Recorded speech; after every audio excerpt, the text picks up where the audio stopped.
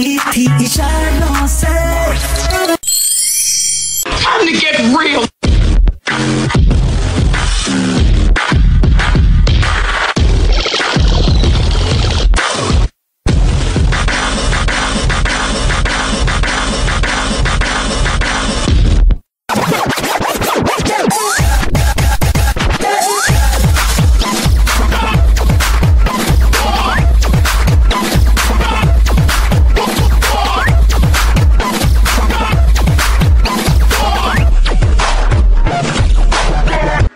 Look at that, huh?